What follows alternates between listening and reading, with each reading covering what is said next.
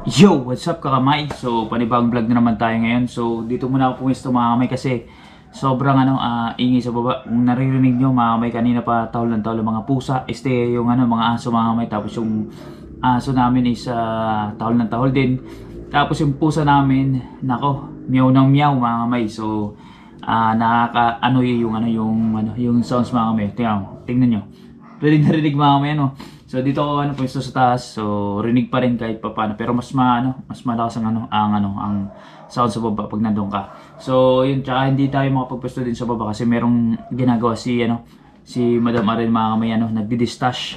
So maano doon ma makalat mga kamay kasi kailangan niya ibenta yung mga ano mga hindi niya na ginagamit ng mga materyales sa ano sa ano niya sa paggagawa ng hair bows. So anyways mga kamay, so yun ang gagawin natin ngayon is ano, magre-revenue update tayo ng mga, mga kamay. So, ang ipipicture natin ng mga channel o mga vlogger is yung nandun sa Mindanao mga kamay. So, yung team Mindanao, so ah hindi na sila na, hindi ko na na-update ulit yung ano yung kumbaga galing sila sa Bukana tapos nag-transfer sila sa ano sa ano sa Mindanao. So titingnan natin yung ano nila, yung mga sahod nila. So ano siya, hindi siya in order, so random siya at at at the end of the ano discussion ng revenue update nila is doon natin ni ano ilalagay yung ano yung kung top 1 up to bottom ano uh, bottom. So walo ang ano walo walo ang nakuha ko mga kamay. At the same time itong ano uh, sinasabi ko makikita niyo po dito. So direct ako po kinuha sa ano sa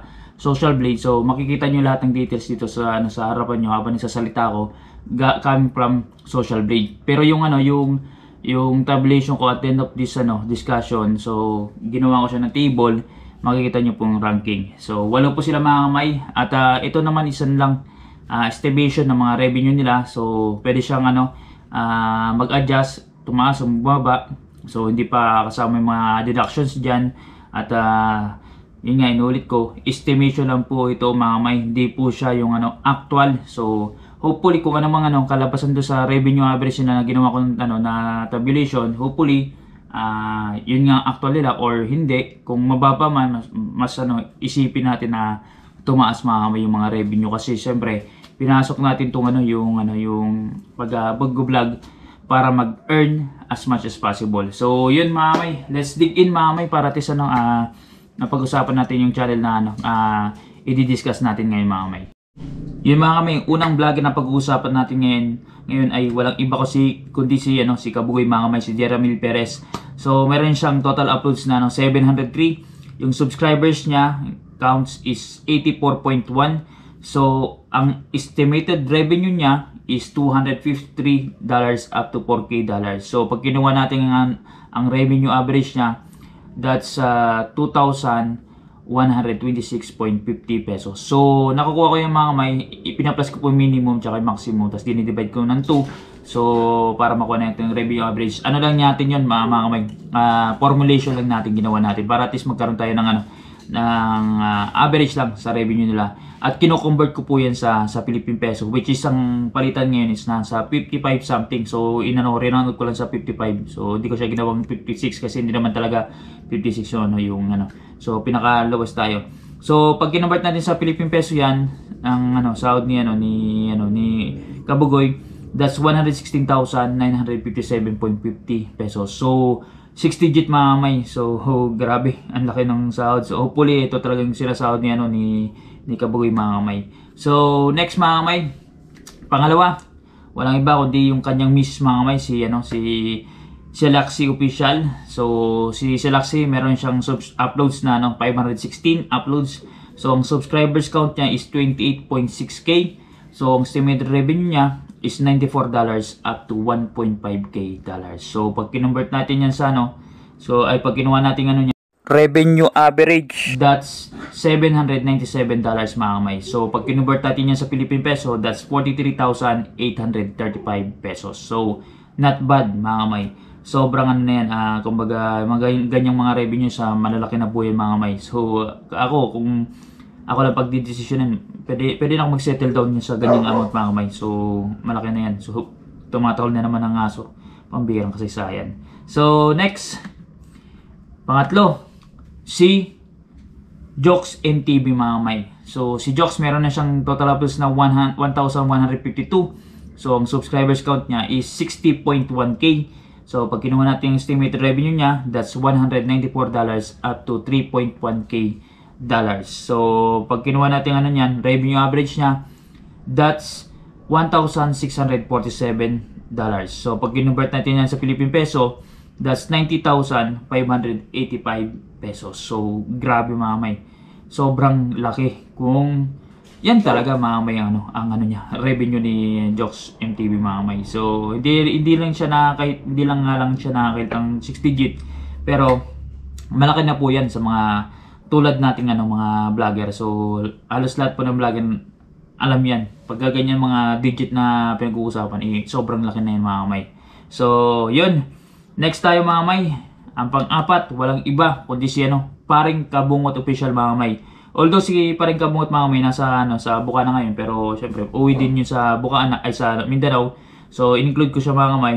So, ang total uploads ni paring kabungot is 811 uploads. So, ang subscribers count niya is 98k. 98k mga kamay. 2,000 na lang. So 100k na pala to. So konting kembot na lang kay paring kabungot. So may ano na siya, may silver silver play button na siya mga kamay. So ang estimated revenue ni paring kabungot is $287 up to 4.6k dollars mga kamay. So pag ginawa natin ang revenue average niya, that's 2,443.50 dollars. So pag kinonvert natin yan sa Philippine peso, that's 134,000 392.50 pesos. So, sobrang laki mga may. 6 digit yun si paring kabungot mga may. So, grabe. Malulupit, malulupit mga may. Ang ano, mga kumpare ko mga may. So, yun mga may. Sunod. Mabilisan lang mga may yung discussion. Wala nang ano, uh, patumpik-tumpik pa. Yung pang lima na pag-uusapan natin, walang iba so, kundi si ano, yung kumpare ko rin mga may, si paring kautoy mga may. So, meron na siyang 944 uploads mga may at ang sub- subscribers count niya is 51.8k. So ang estimated ni uh, revenue ni paring Kautoy is 312 up to 5k dollars. So pag kinuha natin ang ano niyan, revenue average, that's 2,656 dollars mga may. Pag kinonvert natin yan, natin yan sa Philippine peso, that's 146,080 pesos. Grabe. Wow na wow. Sana all at sana nga yan ang sinasahod talaga ni paring Kautoy. So so pag ibibis niyo lang mga kami sa ano, sabi ko nga sa inyo, pag binis niyo sa sa views tapos dinivide niyo ng 1 uh, uh, kumbaga 1,000 divide divide ano uh, kumbaga per 1,000 is 1 dollar mga kamay. So pag check yung ano yung channel ni Kautoy, medyo uh, hindi siguro papago sa ganito. So estimation lang natin. So hopefully yan ang ano uh, nakukuha ni paring Kautoy mga kamay. So, next, pag-uusapan natin, walang iba si Tatay Tatsuki, si Tatsuki Agrab Agravante official mga kamay. So, tatay ni, ano, ni Bay Japper mga kamay. Meron na siyang 978 uploads mga kamay. So, ang subscribers count niya is 35.2k. So, ang estimated revenue niyan ni Tatay Tatsuki is $66 up to 1.1k dollars. So, pag kinuha natin yung ano niya, revenue average niya, that's 583 dollars. So, pag kinonvert natin yan sa Philippine peso, that's 32,065 pesos. So, okay na rin mga kamay. So, hindi na siya barya. Kumbaga, ako, tatanggapin ko pang mga ganyan na sahod mga kamay kaysa mababa. So, kung yan man ako ni Tate Taski, ox na ox na ox na yan mga kamay. Sobrang ano na yan, uh, okay na okay na. Uh, no problem na yan sa mga tulad natin mga small YouTuber. So, tumatahol na naman ang aso mga kamay. so, yun. Next time mga kamay. Ang number 7. Oh, tumatahol. Saglit lang. So, yun mga kamay. Uh, pinutol ko kasi tumatahol na ang aming aso. Nandito lang sa may tabi mga kamay. So, next yung number 7 ay walang iba kundi kumpare ko rin mga kamay. Si paring Kuya Dang TV mga kamay. Meron siyang total uploads mga kamay na 423 uploads So, ang subscribers count niya is 52.9k. So, ang estimated revenue niya is $92 up to 1.5k dollars. So, pag kinuha natin yung revenue average niya, that's $796 mga kamay. Pag kinonvert natin yan sa Philippine peso, that's 43,780 pesos. So, okay na okay na din mga may ano ang ang, sound ni Kuya Dang mga may nasa 40 plus mga may so hopefully yan nga yan, yan na din ang ano sinasound niya.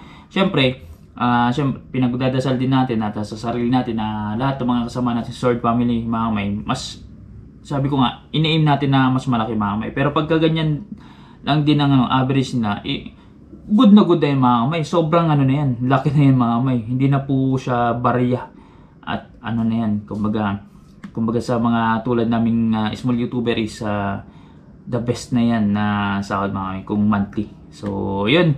Ito na, ang pinaka last mga kamay. Walang iba kundi ang ating ano, pinaka pinuno mga kamay. Si Bay Japper Sniper mga kamay. So, si Bay Japper, meron na siyang total uploads na 2,101 uploads mga kamay. Sobrang sipag ng taong to mga kamay. So, ang subscribers count niya is 925,000 subscribers. So, ano, ini-aim niya this year mga may makahit ng 1 million. So, ah, uh, kumbaga sa akin, hindi, ah, uh, kumbaga, uh, malamang sa malamang, uh, pwede niya mahit mga may kasi marami pang ano, marami pang oras. So, ano pa lang ngayon, uh, March pa lang. So, 9 months to go. So, pwede niya mahit mga 1 million. So, kumbaga, manawagan lang sa, ano, sa Facebook niya. Transfer yung iba, shot na yun sa balde mga kamay. Pero, papali, ano na yun, uh, kumbaga pa konti-konti na ano na, uh, umakit na mga kamay. So, yun. Si Bay Japper, meron na siyang ano, uh, estimated revenue na 973 dollars up to 15.6k dollars mga kamay. So, pag kinuha natin yung revenue average niya, that's 8,000 286.50 dollars mga kamay. Pag kinonvert natin yan sa Philippine peso, that's 455,757.50 pesos. So, grabe mga kamay. Hopefully, yan talaga sinasawa ni Bay Japper mga kamay kasi almost a million. Siyempre, ano lang, kumaga, kung i-estimate nyo po sa subscribers count niya tapos dyan, uh, ano lang talaga, dapat talaga ganyan ang ano, minimum niya.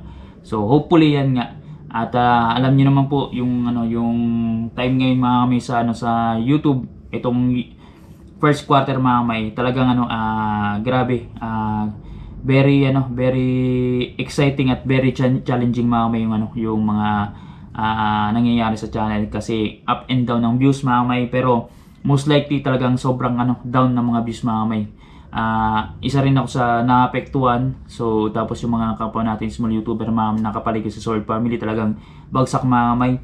So, hopefully marigin natin yung mga ano, mga views at uh, nga, mas lalong ano, uh, tumaas mga may. So, kumbaga, isipin na lang natin mga may na ano, uh, isa tong ano, uh, hindrance na kailangan natin ano, uh, talagang uh, lagpasan mga may.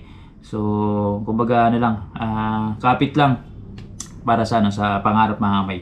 So, yun mga may, ngayon, iano na natin mga may, irarank na natin. So, sa from top 1 up to bottom 8 kasi wala sila mga may. So makikita niyo po sa screen kung sino ano ang ang top 1 up to bottom 8 mga may. Syempre, ang number 1 natin mga may, walang iba kundi si ano, Japper Sniper Official mga may. So ang number 2, si Kautoy TV mga may. Ang number 3, si Parang Kabungot Official.